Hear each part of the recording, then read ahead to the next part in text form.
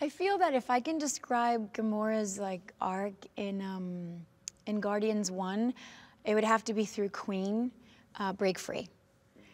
You know, she's she's on a mission to to be free or die because she's she's over it. So she's there's a there's a there's a selfish uh, essence to her, and it makes her uh, prerogative very personal versus like in, in this in this one she's uh, she's on a path of redemption so she wants to be very uh, she wants to be very present in trying to do good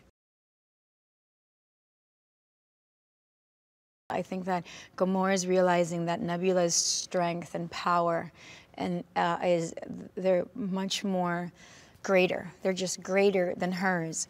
Um, so she wants to be able to inspire Nebula to not put to not put bad feelings into what's already hers, which is her power, because then that, that's a Molotov cocktail. It's a really dangerous weapon there. And I think that Gamora is the one that kind of senses it. And it's your job as an older sibling to do that.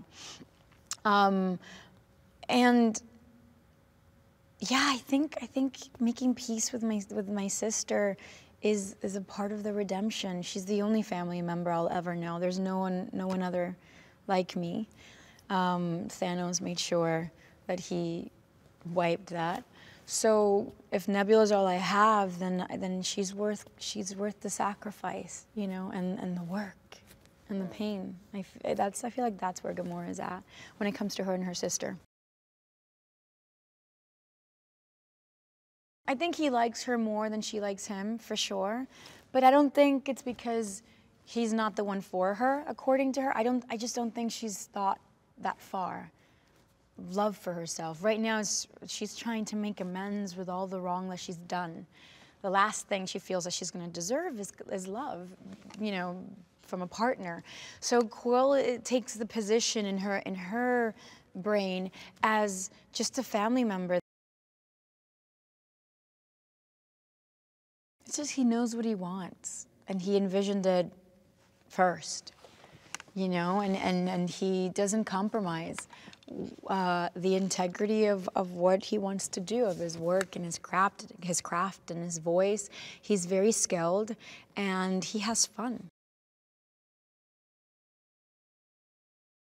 I think all the issues that we're going to be tackling, emotional issues, like um, our relationships with our fathers, um, our relationships with our friends, our siblings. Uh, what is what is what is family to you? Um, and and growing up, there's a lot of that, but like it's more like a young adult, like growing up as an adult, not just like oh I was a kid first and now like I'm an adult. It's you're an adult. How do you grow? How do you evolve? From this adult that you are into a better one. And I, and, um, and I love that about Guardians. It gives it a very, very human um, essence.